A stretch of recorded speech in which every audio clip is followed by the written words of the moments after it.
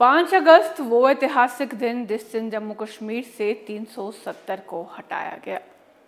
लोगों में बहुत उम्मीदें जगी कि अब यहाँ पर विकास का एक नया दौर आएगा।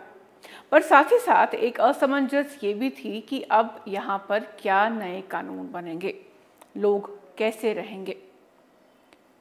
हमारे राजा की दूरदर्शिता थी जिन्होंने अपने यहाँ के लोगों के अधिकारों को सुरक्षित रखने के लिए स्टेट सब्जेक्ट बनाया था। लेकिन 370 हटने के बाद स्टेट सब्जेक्ट की वैल्यू खत्म हो गई।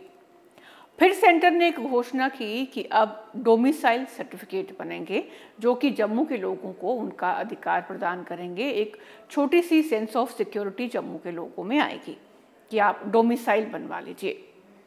और इस डोमिसाइल को बनवाने के लिए बच्चे, बूढ़े सब जोरों शोरों से लाइनों में लगकर तीन तीन चार चार घंटे खड़े रहकर डोमिसाइल बनवाने में लग गए कि हम अपने आप को, अपनी प्रॉपर्टीज़ को, अपने अधिकारों को सुरक्षित रख सकें। अब जब इतनी मेहनत, मशक्कत करने के बाद लोगों ने डोमिसाइल सर्टिफिकेट बनाए तो उसके बाद अब ये नया लैंड लॉ लागू कर दिया गया। डोमिसाइल सर्टिफिकेट बनवाने के बाद और अब नया लैंड लॉ आने के बाद जम्मू के लोगों की क्या राय है? चलिए आपको दिखाते हैं। एक्चुअली जब ये स्टेट को यूटी में कन्वर्ट किया गया तो सेंटर का कानून था कि जो परमानेंट रेजिडेंस सर्टिफिकेट जिसे हम पीआरसी कहते थे, उसको रद्द करने के चक्कर में इन्होंने हमारा डोमिसाइल बनवाया था। और उस डोमिसाइल को बनवाने के लिए जम्मू के लोगों ने लंबी लंबी लाइनों में खड़े होकर डीसी ऑफ़िस में, तहसील ऑफ़िस में खड़े होकर वो डोमिसाइल बनवाया। और बहुत सारे कैंप भी इनके द्वारा लगवाए गए।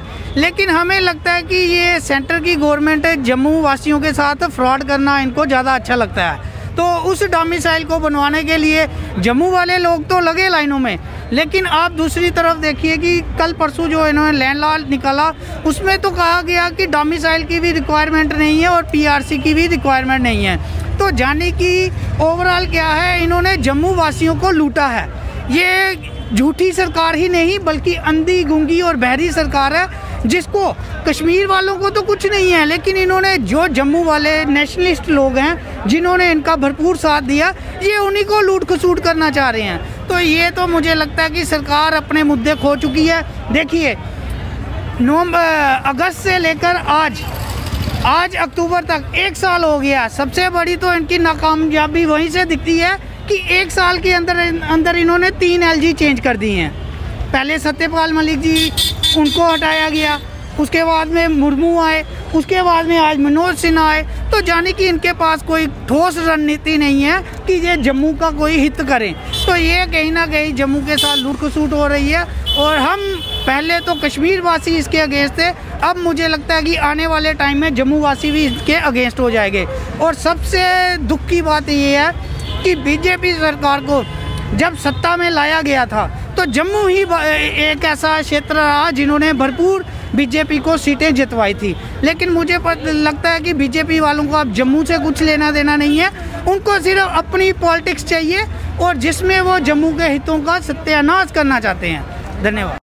कल लैंड के लिए आया जिसमें डोमिसाइल की वैल्यू ख़त्म कर दी गई है। तो मुझे ये समझ ही नहीं आया कि सरकार ने भी डोमिसाइल वाला मुद्दा उठाया क्यों? पहले था कि मैं स्टेट सब्जेक्ट बनाना होता था। स्टेट सब्जेक्ट नेसेसरी था, उसके लिए हम खज्जल होकर स्टेट सब्जेक्ट बनाया।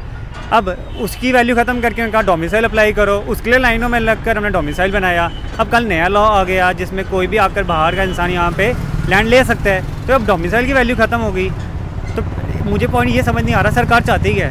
पहले उन्हें डिसाइड करना चाहिए कि उनको लॉ चलाना क्या है। उसके बाद ही उन्हें अप्लाई करना चाहिए लोगों पर, ताकि लोग पागल ना बने। डोमिसाइल क्यों बनवाया डोमिसाइल जो हमें इंस्ट्रक्शन थी हमारी गवर्नमेंट की ड्यूटी, जम्मू की ड्यूटी की तरफ़ से कि हमें अपना डोमिसाइल बनाना पड़ेगा। जब हमें कोई भी लैंड, कोई प्रॉपर्टी कुछ भी खरीदना है तो उसके लिए हमें डोमिसाइल की रिक्वायरमेंट होगी।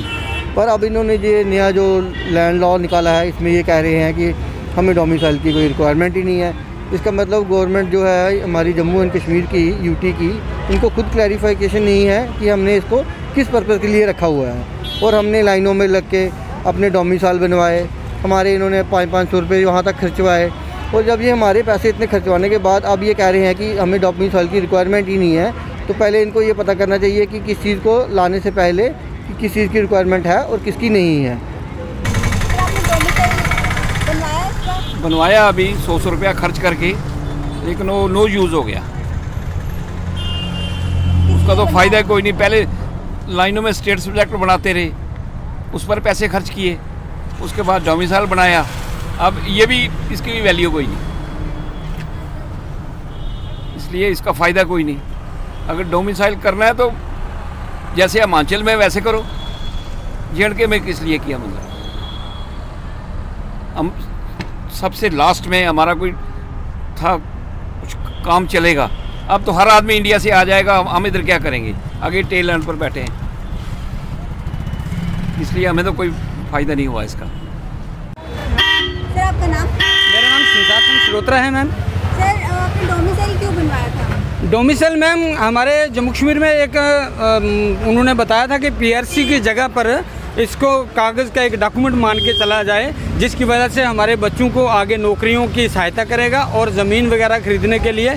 और सबसे बड़ा कारण यह है कि हमें जम्मू कश्मीर का शहरी एक साबित करना है तो उसके लिए हमें डोमिसाइल की ज़रूरत पड़ती थी। तो इसलिए हमने ये बनवाया था, क्योंकि सेंट्रल सरकार ने हमें ये हक दिया था कि आप डोमिसाइल ज़रूर बनाएँ। जी मैम अब उसकी वैल्यू तो खत्म अब उसकी वैल्यू ख़त्म नहीं है। देखिए जम्मू कश्मीर को एक फुटबॉल की तरह यूज़ कर रहे हैं। कभी वो बनवाते हैं कभी वो हटाते हैं कभी कोयला यूज़ लगा देते हैं कभी लोग कोयला जो है ना उसको थोपे ही जा रहे हैं। हमें ये पता नहीं चलता कि इनकी राजनीति असल में है क्या। सर आपने डोमिसाइल क्यों बनाया था? डोमिसल जैसे कि पहले था थ्री सेवेंटी था जम्मू में। जैसे वो ब्रेक हो गया उसके बाद कह रहे हैं कि डोमिसल आएगा जिसको जॉब चाहिए उसके पास डोमिसल होना चाहिए। तो खैर जॉब तो ना अभी तक मिली है तो ना मिल, मिलेगी। क्योंकि काफ़ी टाइम हम लोग देख रहे हैं कि लोग फॉर्म लगाते हैं तैयारी कर रहे हैं। अब मेरा भाई है ये। ये इसने भी काफ़ी तैयारी की है। तो जॉब तो मिलने से रही।